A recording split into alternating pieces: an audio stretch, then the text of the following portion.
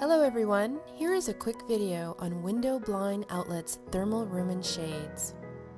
These shades come with hidden brackets that snap into place from the top of the shade.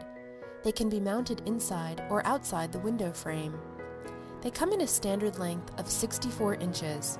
Don't worry if your window is not that tall. The shades fold up flat from behind.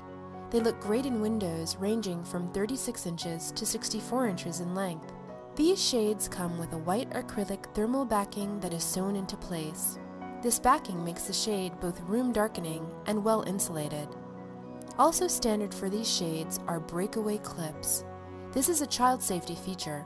If the clips pull away, they are easily snapped back into place. Thanks for watching.